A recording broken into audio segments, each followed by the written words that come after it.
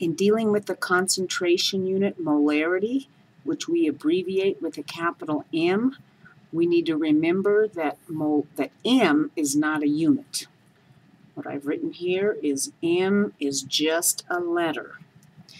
We have to remember that M stands for a ratio of two units. So moles is a unit, it tells us how many uh, moles we have, and liter is a unit, that's a volume unit. So for example, we looked at a bottle that was 5 molar copper sulfate.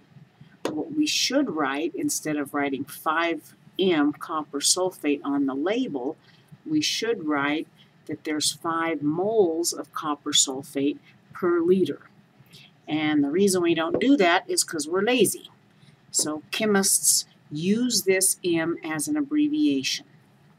So if, for example, this thing looks like it's about, I guess, 80 milliliters. So if we have, I'm going to ask how many moles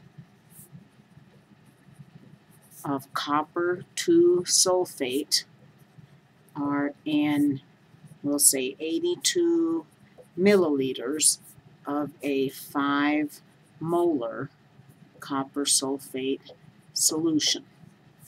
That's the most common way we use the capital M.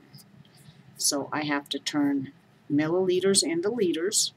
So I have 0.082 liters. And then this 5 is the concentration unit.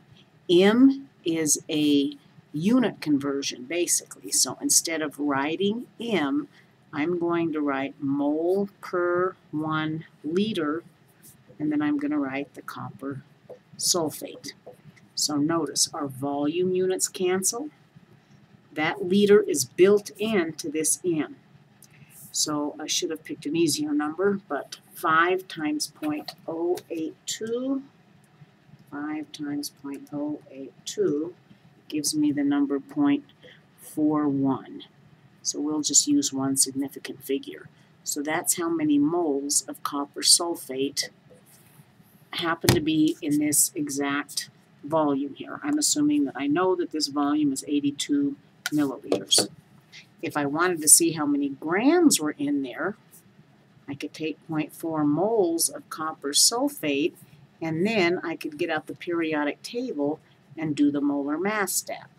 So one mole of copper sulfate weighs so many grams of copper sulfate.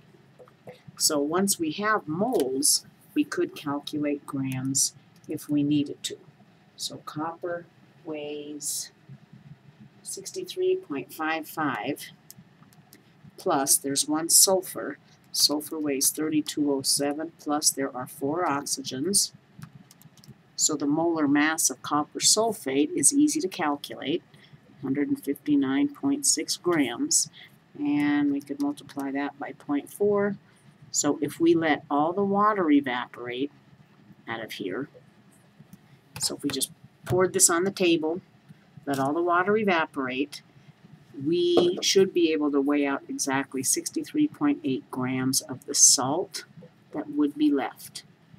The most important thing, again, in working with capital M is when we see M written, we should rewrite that M as a mole per one liter and then we can solve for moles just doing the science of canceling units.